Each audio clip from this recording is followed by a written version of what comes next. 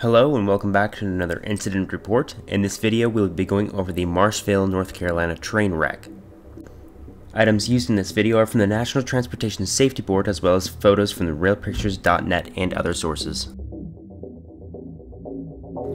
On April 10th, 1984 at 9.30 a.m., a Seaboard System train labeled FERHL derailed causing 18 cars to jump the track, some of which included hazardous materials. Of all these cars, four that derailed were loaded with methanol. Two of these four cars were breached during the derailment, and the released methanol was ignited, causing a fire to erupt. It estimated that 2,100 people were evacuated in a one mile radius of the incident. The US Highway 74 was closed and the fire was allowed to burn until it had subsided at 10 p.m. on the day of the accident. There were no fatalities and only one injury during the evacuation. What was the lead up to this incident? To find this, we need to go back to about 2 a.m. of that morning. The following paragraph is from the NTSB, at 2 a.m. on April 10, 1984, a Seaboard System Railroad freight train crew went on duty at Bostic Yard in Bostic, North Carolina. They took charge of an inbound freight train from which they removed 20 loaded coal cars. They coupled 18 freight cars in the yard and connected the air hoses. After receiving an air brake test, the 18 cars were added to the train and the test was performed to confirm that the brakes set and released on the rear car in the train. The train designated FERHL, consisted of three diesel electric locomotive units, 87 cars, and one caboose. They departed eastbound with the engineer and the front brakeman at the control compartment of the lead locomotive unit, and the conductor and rear brakeman and the caboose. After the train had traveled approximately 35 miles and arrived at Cherryville, North Carolina, they remained on the main track for over an hour. During that time of waiting, both brakemen walked along the train to do a visual inspection and noticed nothing out of the ordinary. They then resumed operation after the train they were waiting for had passed. Sometime later, they passed a wayside hotbox detector. A wayside hotbox detector is to detect defects of rail cars and equipment. This hotbox detector did not send any warning to the crew because it picked nothing up. At the next stop, Pinoca Yard, the train stopped to remove two cars. The engineers stated that they were braking heavily into the yard before reaching the destination. A freight car inspector on his way to work noticed smoke coming from one of the cars and notified the train crew via radio. The noted car was SAL 45678, the 47th car from the locomotive. It was also noted this car was filled with pulpwood. It was the yardmaster who contacted the train crew about this. Both front and back crews of the train understood and heard the messages clearly. The crew of the train went back out to check again and did not see anything coming from the specified car. They relayed the information to the yardmaster and continued on their way. The train then continued to Charlotte and Matthews and passed a hot box detector in the area of Matthews. The detector sent off an alarm this time, and the train crew received it via radio. The warning advised that there were 362 axles on the train and that the journal on the left side of the 157th axle from the rear of the train was overheated. The front brakeman used calculations to determine that it was the 47th car from the front of the train. After searching around and again not noticing anything unusual, the front brakeman assumed that the hotbox detector had given a false alarm because he was unable to find the hot journal.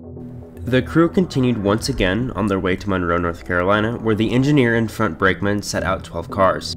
The train then departed from Monroe with an added locomotive totaling four, one of which was not in operation. They were also pulling 73 cars and the one stated caboose. At 9:30 a.m. as the train entered Marshville at about 35 miles an hour over a turnout, they experienced an undesired emergency application of the train brakes.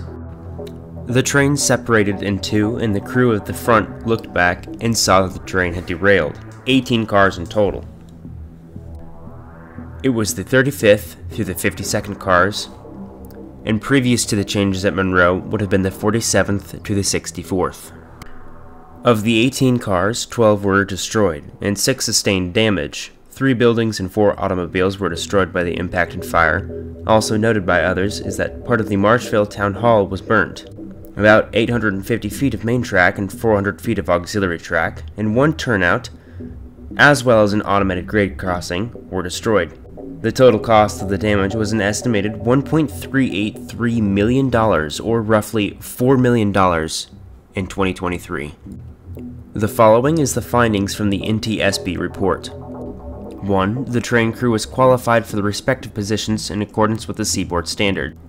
2. Smoke was observed coming from a journal on car SAL 45678 on train FERHL as it approached Charlotte and this information was provided to the engineer.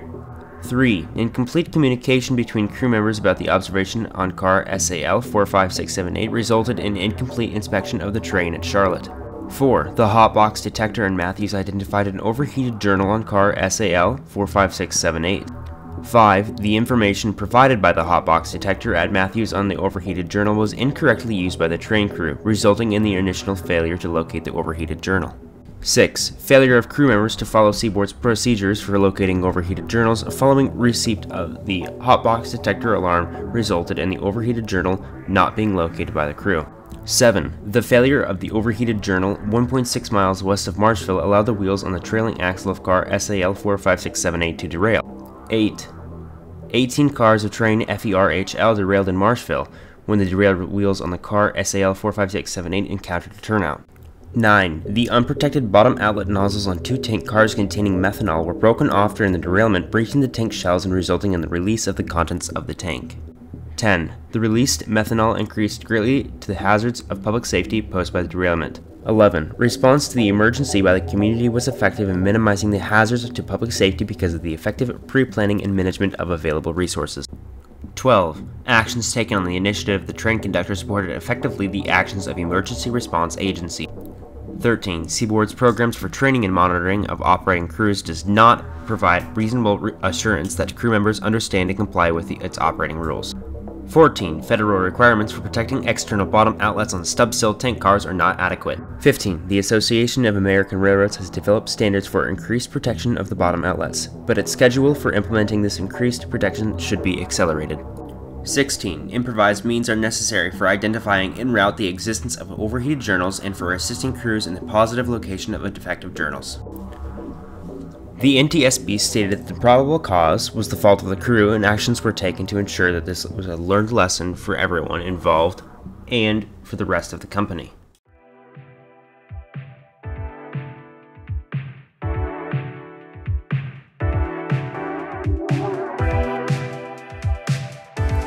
Thank you for watching and I'll catch you in the next one.